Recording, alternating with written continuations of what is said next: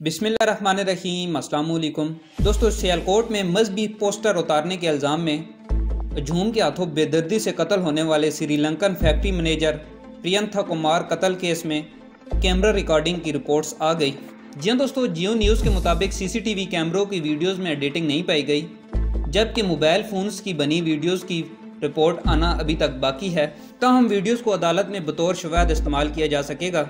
Reports के मुताबिक मुकदमे की समात आज सेशन कोर्ट में होगी, जिसमें 80 मुलजमान को जिस्मानी रिमांड पूरा होने पर अदालत में पेश किया जाएगा। जन दोस्तों, जैसा कि आप सबको पता होगा, तीन दिसंबर को हजूम ने सियालकोट की फैक्ट्री के गैर मुस्लिम Sri Lankan manager Priyantha Kumar को तशद करके कत्ल कर दिया था। और लास्ट दुआ है कि अल्लाह पाक हम सबको अपने मान में रखे। तो इसी के साथ आज की ये शॉर्ट सी वीडियो करते हैं ख़त्म। तो मिलते हैं नेक्स्ट वीडियो में। तब तक टिल देन अल्लाह हाफिज़।